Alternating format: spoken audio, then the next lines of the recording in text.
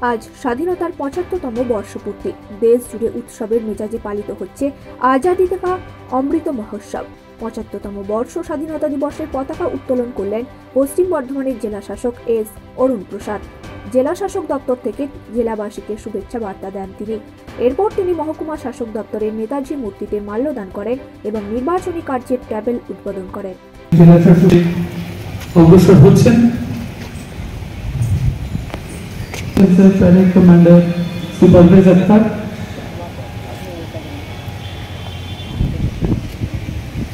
माननीय जिला शासक उपमहापौर श्री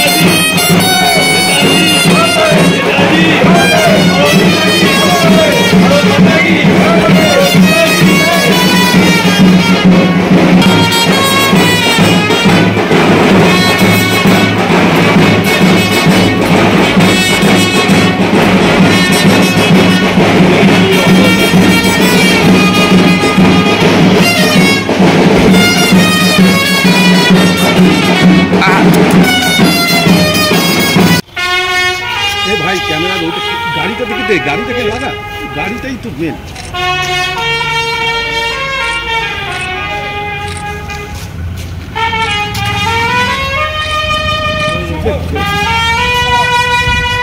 এটা বেরোচ্ছে